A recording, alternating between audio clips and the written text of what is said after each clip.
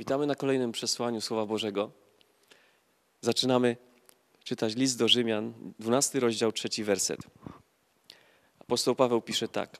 Powiadam bowiem każdemu spośród was mocą danej mi łaski, by nie rozumiał o sobie więcej niż należy rozumieć, lecz by rozumiał z umiarem stosownie do wiary, jakiej Bóg każdemu udzielił.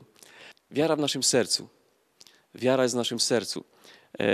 Tak zostaliśmy zaprojektowani, stworzeni przez naszego cudownego Boga, że On nas stworzył na swój obraz i na swoje podobieństwo. Jest Bóg Ojciec, Bóg Syn i Bóg Duch Święty. I my podobnie jesteśmy stworzeni jako duch, dusza i ciało. Duch to jest ten właściwy człowiek. Dusza to moje uczucia, moje emocje, wszystko co czuję, widzę, słyszę. I moje ciało, które widać, które, które jest, funkcjonuje, dotykam i tak dalej. E, I tutaj apostoł Paweł pisze o wierze. Wiara właśnie znajduje się w sercu, czyli w duchu. Wiara naszego serca. Słowo Boże tutaj mówi, apostoł Paweł tutaj mówi, że każdy człowiek, który został zrodzony z Jezusa Chrystusa, który został nowonarodzony, ma wiarę. Wiele ludzi mówi, nie mam wiary. To nie jest prawda. Według tego Słowa Bożego każdy, kto przyjął Jezusa Chrystusa, kto, prze, kto mu przebaczono grzechy, kto mu przebaczył Bóg grzechy, poprosił o przebaczenie, ma wiarę w swoim sercu, dostał miarę wiary, jak tutaj jest napisane. Każdemu udzielił wiary. W innym tłumaczeniu jest napisane, że to jest miara. Dlaczego każdy sobie myśli, że ja mam tak malutko? Pan Jezus powiedział, wyjaśnił. On wiedział, że tak będziemy myśleli, dlatego to wyjaśnił i powiedział tak: Gdyby wasza wiara, gdyby wasza wiara była taka malutka, jak ziarnko gorczycy, czyli najmniejsze z nasion, i rzekłby tej górze, niech się rzuci w morze, i nie wątpiłby w swoim sercu, co się stanie. Dlatego Pan Jezus zwrócił uwagę na to, jak bardzo ważne jest, abyśmy rozumieli to, że mamy wiarę. To jest dar. Wiara to nie jest coś, co wypracowaliśmy sobie, z czym się przyszliśmy na ten świat i się możemy chlubić, że to jest moje, to sobie tam gdzieś wytworzyłem. To jest dar od Boga. Kiedy przyjąłem Jezusa Chrystusa, Bóg dał mi wiarę. Miarę wiary. Wiara oczywiście może wzrastać. Słowo Boże mówi, że wiara rodzi się ze słuchania, a słuchanie przez Słowo Chrystusowe. Więc kiedy słucham Boga, kiedy słucham Słowa Bożego, kiedy czytam Boże Słowo, kiedy mam społeczność z Bogiem, rodzi się moja wiara, ona się wzmacnia. Ona się wzmacnia. I tak samo może ona słabnąć, kiedy zaniedbuję. Kiedy zaniedbujesz czytanie Słowa Bożego, kiedy zaniedbujesz słuchanie, kiedy sobie daję na luz, wtedy moja wiara słabnie. Dlatego jest tak ważne, aby nasza wiara, naszego serca, aby była mocna. Jak to się dzieje? Dlaczego wiara akurat jest w sercu, jest w duchu, nie w duszy? Dlatego, że jesteśmy ludźmi mądrzy, mądrymi, jesteśmy, umiemy czytać, umiemy pisać, umiemy rozsądzać nasze sytuacje i to jest nasza dusza. To jest bardzo ważna rzecz. Jesteśmy rozsądni, kiedy należy coś podjąć, jakąś decyzję, ale serce nasze to jest tam, gdzie Bóg komunikuje się z nami. I widzisz, kiedy chcesz się skomunikować z kimś, kto stoi koło mnie, to komunikujesz się w swoim ciele, w swojej duszy. Czyli używasz słów, używasz wzroku, słuchu, dotykasz, chcesz się przywitać, więc podajesz rękę. Ale kiedy chcesz się skomunikować z Bogiem, wtedy musisz używać swojej wiary, czyli w duchu się komunikujemy z naszym Bogiem.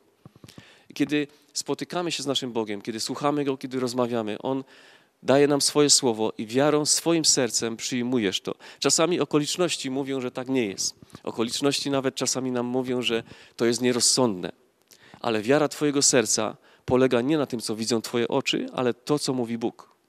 Więc kiedy Bóg mówi idź, to idziesz. Pomimo tego, że okoliczności są różne. Uczysz się tego i idziesz. To jest posłuszeństwo i wiara właśnie wtedy zaczyna być używana. Wiara może być nieużywana w ogóle, kiedy my nie wykorzystujemy poleceń, kiedy nie wykorzystujemy słów Bożych i nie robimy. Kiedy Bóg mówi coś do nas i my to wykonujemy, postępujemy według wiary i rzeczy zaczynają się dziać. Tak to Pan Jezus powiedział. Jeżeli by miał taką małą wiarę, ale nie wątpiłby w swoim sercu. Co się wtedy dzieje, kiedy nasza wiara kiedy Słowo Boże wpada do, nasze, do naszego serca. Wiecie, to jest bardzo ciekawe, że wiara to niezdrowy rozsądek. Bo kiedy Pan Jezus e, chodził po wodzie, jeden z uczni, Piotr, powiedział: Panie Jezu, jeżeli to Ty, to pozwól mi iść do siebie. I Pan Jezus mówi: Piotrze, chodź. Piotr wyszedł z łodzi i on wtedy nie polegał na swoim rozumie. Przecież był rybakiem i przez wiele lat łowił ryby i wiedział, że to się kończy źle, jeżeli się wychodzi z łodzi na środku morza. Ale na Słowo Boże uwierzył Jezusowi Chrystusowi i to jest właśnie wiara. I chcę powiedzieć, że roz, zdrowy rozsądek nie wyjdzie z łodzi na środku morza, ale wiara tak. Zdrowy rozsądek też nie potrafi nakarmić pięć tysięcy ludzi jedną kanapką czy kilkoma kanapkami małego chłopca, ale wiara tak. Dlatego jest ważne, abyśmy komunikowali się z naszym Bogiem, abyśmy rozmawiali z Nim właśnie w naszych sercach, w naszym duchu. Tam, gdzie jest wiara, gdzie Słowo Boże może je budować, rozwijać, korzystajmy z tego, korzystajmy, aby wiara wzrastała, a wiesz, jak to zrobić. Do swojej komorki, do swojego pokoiku, Chciej słuchać Boga, modlij się, czytaj Boże Słowo, poświęć Mu czas, daj czas, wyłącz wszystko, abyś nic innego nie słyszał, tylko Boga, abyś słyszał tylko Jego Słowo. Kiedy przeczytasz Jego Słowo, miej wiele czasu, aby słuchać. Powiem krótki przykład. Kiedyś zaprosił mnie, e, mój dziadek zaprosił mnie na spotkanie. Poszedłem z nim z czystej sympatii. Nie miałem tam ochoty iść jako na spotkanie, ale ze względu na mojego dziadka poszedłem razem z nim. Poszedłem jako osoba towarzysząca, nie jako zainteresowany spotkaniem. Kiedy przyszedłem na to spotkanie, usłyszałem słowo. Jako młody chłopak w ogóle mnie to nie interesowało, co się dzieje w kościele, ale usłyszałem słowo, że wszyscy zgrzeszyli i brak im chwały Bożej. A następne słowo było powiedziane, że zapłatą za grzech jest śmierć. Następne, które było powiedziane, że za, za, darmo z łaski Bożej jest życie wieczne w Jezusie Chrystusie. Wszyscy, którzy wzywają imienia Jezusa Chrystusa, będą zbawieni. To słowo tak mocno mnie przenikło, tak mocno dotarło do mojego serca, chcę to podkreślić, do mojego serca, do mojego ducha, że ja zrozumiałem, że jeżeli wszyscy, to wszyscy, że i ja jestem grzesznikiem, to niezależnie od tego, że jeszcze jestem młody. Wszyscy. Wtedy uwierzyłem w swoim sercu, że to słowo ma moc, że to ono jest prawdą, że ja jestem grzesznikiem i muszę przyjść do Jezusa, aby być nowym, nowym stworzeniem. I wtedy, kiedy było wezwanie, aby, aby podjąć decyzję, czy chcesz poprosić Jezusa, aby przebaczył Twoje grzechy, uczynił Cię nowym stworzeniem, ja byłem pierwszy. Oddałem wtedy swoje życie Jezusowi. Wiecie, co się potem stało? Kiedy poszedłem do szkoły za kilka dni, powiedziałem to mojemu koledze. Powiedziałem, słuchaj Geniek, jestem dzieckiem Bożym. On takie oczy zrobił na mnie i mówi, co ty mówisz, tylko proszę cię na polskim tego nie pisz w opowiadaniu, bo wyjdzie nie, niezły przekręt. Skąd ty to możesz wiedzieć? Jak kto ci to opowiedział? Ktoś ci naprawdę niesamowicie naopowiadał. Co, co, co ty sobie wyobrażasz? Skąd to wziąłeś? Ja wróciłem do domu i zacząłem się zastanawiać, skąd ja to wziąłem. Czy czasem sobie czegoś nie wymyśliłem? I dopiero wtedy zacząłem czytać Słowo Boże. Wiecie, kiedy przyszedłem na to spotkanie, ja nie miałem w ogóle żadnej teologii, nie miałem w ogóle wiedzy na temat tego, że Bóg przebacza grzechy. Nie miałem żadnej wiedzy, ale sercem swoim, jako młody chłopak, uwierzyłem, że to, jest, to przesłanie ma, ma moc, że ono jest prawdą, że to, co Jezus mówi, jest prawdą. I wtedy powiedziałem: Boże, proszę Ciebie, jako młody chłopak nie znałem w ogóle Biblii, nie miałem nawet jeszcze wtedy swojej Biblii. To było kilka dni po Nowym Narodzeniu moim. Zacząłem się modlić i mówię, Boże, daj mi odpowiedź, żebym Gienkowi mógł powiedzieć, czy ja naprawdę jestem zbawiony, czy tylko sobie wymyśliłem. I zacząłem się modlić i pytam się, Boże, jak mogę Ciebie usłyszeć? Nie umiałem. Dlatego wziąłem Biblię od mojego taty, otworzyłem ją, zacząłem szukać. Wszystko wydawało mi się obce i pomyślałem sobie, od czego tu zacząć. I znalazłem Ewangelię, Ewangelię Mateusza, Marka, Łukasza, Jana i pomyślałem sobie, nikogo z nich nie znam, ale mój tata się nazywa Jan, więc zacznę czytać Ewangelię Jana. W pierwszym rozdziale, na samym początku znalazłem cudowny werset, który Bóg odpowiedział do mojego serca. I wtedy już nie miałem wątpliwości. I tam jest w pierwszym rozdziale, dwunasty werset, mówi tak. Tym zaś, którzy Go przyjęli, dał prawo stać się dziećmi Bożymi. Tym, którzy uwierzyli w imię Jego. Cudowne. Mówię, Boże, spadłeś mi z nieba. Poszedłem do szkoły i mówię następny, następny razem, już umiałem ten werset na pamięć, mówię, Genek, Bóg mi odpowiedział i pokaże Ci, w którym miejscu stałem się nowym stworzeniem i dzieckiem Boga. Jestem dzieckiem Boga, tym, którzy Go przyjęli. Genek zrobił wielkie oczy i mówi, no chyba masz rację. Słuchajcie, na tym spotkaniu też Bóg dotknął mnie i uzdrowił mnie z bólu gardła. Ja od dziecka zawsze byłem, chorowałem na gardło. Ja Go nie prosiłem o to i ja nawet nie wiedziałem, że Bóg uzdrawia. Nie wiedziałem nic. Słyszałem kiedyś historię na szkółce, że takie rzeczy się działy, ale nie miałem w ogóle pojęcia. Dlatego, kiedy mnie uzdrowił, po kilku dniach pokapowałem się, że nie musiałem ssać tabletek na ból gardła. Dzisiaj to mamy różne smaki, jest wygodnie, jest naprawdę, to, to, jest, to są lizaki, to są smaki takie, które, które się chce po, po, po, possać. Ale kiedyś były takie mączno-kwaśne, bardzo niedobre. Kiedy widziałem te opakowania, już miałem dosyć.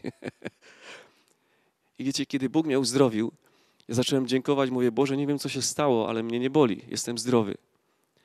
I popatrzcie, gdyby to zależało od mojej wiedzy, od mojej teologii, to ja bym nie powinien być uzdrowiony. Ale to nie zależało od tego. To zależało od wiary serca. Przyszedłeś do Niego, uwierzyłeś Mu, Jego słowo, a On Ciebie dotknął. Jeżeli chodzi o moje życie, to najpierw Bóg, Bóg mnie dotknął, a potem zacząłem czytać, jaki jest cudowny. Najpierw On mnie dotknął i pokazał mi, jakim jest wielkim Bogiem, jakim jest przyjacielem, jakim jest cudownym Zbawicielem, a potem w Ewangeliach zacząłem szukać i czytać, że to jest On. Dlatego nie potrzebujesz wiedzy wielkiej. Nie potrzebujesz wielkiej wiedzy na początek, aby uwierzyć, bo wierzy się sercem, nie umysłem.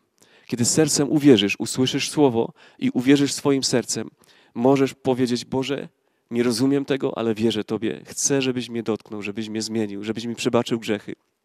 Możesz klęknąć, możesz pomodlić się, powiedzieć w imieniu Jezusa: Dziękuję Ci, że Ty uzdrowisz moje ciało. Jezus Chrystus to chce zrobić, Bóg to chce zrobić. On chce dotknąć Twojego życia. Nie potrzebujesz wielkiej teologii. To jest potrzebne potem. Mi to było potrzebne potem, aby go poznać. Słowo Boże wiele razy mówi o tym, aby go poznać. Ale już wiedziałem, że On jest w moim sercu. Wiedziałem, że On mnie dotknął. I najpierw On mnie dotknął. Najpierw zmienił moje życie. Uzdrowił mnie.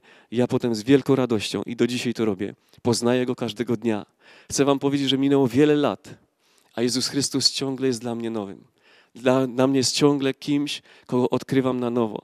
Kiedy czytam Jego Słowo, kiedy zagłębiam się w to, jakim On jest, kiedy idę do, do społeczność z Nim, aby porozmawiać, aby siąść, aby posłuchać. Często robię tak, że siadam i mówię, Panie Jezu, Boże Ojcze, chcę być celem Twojej miłości. Po prostu nie robię nic. Chcę być celem Twojej miłości. On jest miłością. Wtedy On mnie dotyka, wtedy On dotyka mojego serca.